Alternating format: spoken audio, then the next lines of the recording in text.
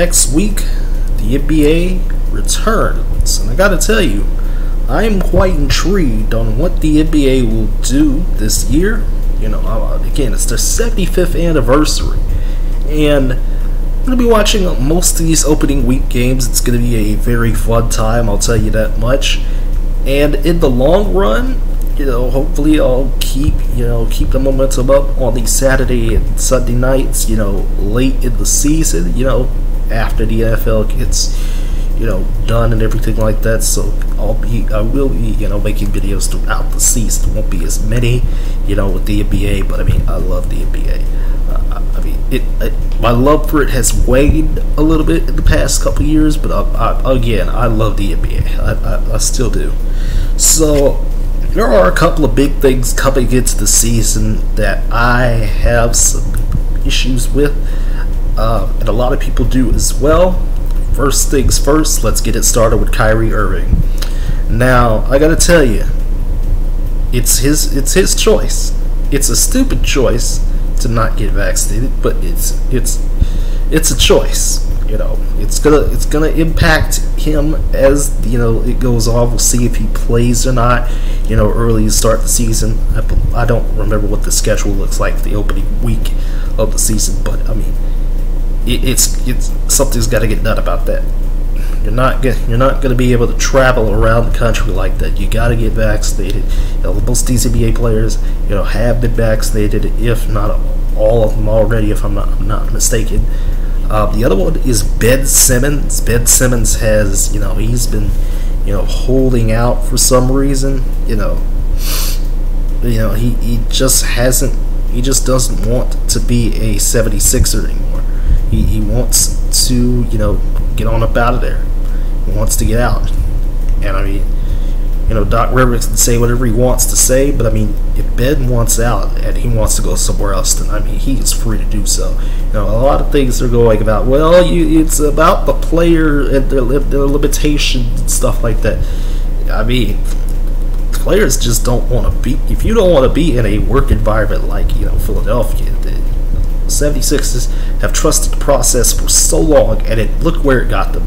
No rings. It got. It hasn't gotten them any rings yet, and it's not getting them any rings anytime soon. In all honesty, you know. I don't have a finals prediction this year because you know things have been gotten so topsy turvy. Remember, the NBA reapproved the uh, the uh, tent the play-in tournament for this year, so that makes things a lot more interesting this year. Uh, gotta say, Steph Curry was shooting lights out in a preseason game. Why? Uh, is is that going to be him in the in the regular season? I have no idea. We all know the West is stacked. You know, my Mavs are there. You know, the Nuggets are still there. I mean, the West is stacked. But a lot of people are saying it's the Lakers' time again. And you know, you know, we said this last year and I, even I predicted the Lakers would go to the NBA Finals last year. I'm not doing it this year. I'm not. I'm not falling for the trap. Because I mean, you know, Lakers got LeBron, they got Anthony Davis, they got Russell Westbrook, they got the whole combination out there. And I got to tell you, it, it, it, it's a deadly combo. You know, older NBA stars, you know, out there. Definitely, LA is trying to become the new Arizona, the new retirement home for you know, stars that are past their prime and stuff like that. Guys that are not, you know, at their peak anymore, or at least their their peak is declining a little bit. I shouldn't say that they're at their peak, or rather, not like that. But I mean, the the Lakers are going to be an interesting case this year as well. You know, got to follow what Brooklyn's doing with the whole Kyrie situation. Philadelphia, they're in a weird spot. Milwaukee is looking to repeat. Remember, you know, they won the finals. Phoenix is still, you know, lurking, you know, definitely vengeful for that loss, you know, with Chris Paul and everything like that and all those guys out there. Uh, again, the NBA is stacked once again this year, you know. I, I was a little bit lukewarm, you know, very much mixed on my, you know, takes what they play in, but I think it might help this year. I'm not, again, I'd rather see the top 16. I think I've said this many times already. Top 16 teams, regardless of conference, in the NBA playoffs, it would make it much more interesting. Or top 12, because that that's also even better. But whatever. It is what it is there. That's all I gotta say about the NBA as far as opening season storylines go. Again, I'll be watching throughout opening week, and you know a couple games before Christmas. You know, I'll be I'll be back with the NBA content, you know, around Christmas time or something like that. So, you know, y'all.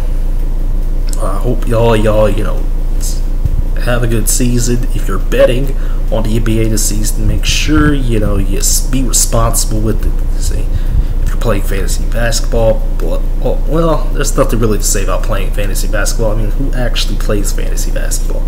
Does anybody actually do that?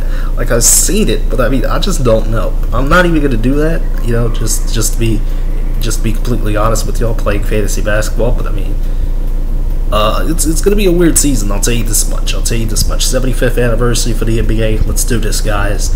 We got a long season ahead to get to June. To get to the NBA Finals, and I'm ready for it. I'm ready. Are you ready for it? Tell me if you are. Just tell me who your favorite team is. I mean, I mean y'all y'all should know by now that I'm a Dallas guy. So uh, you know I'll go with the Mavs and Luka and stuff like that. So again, y'all take care. I'll see you guys very very soon with more content and see you later.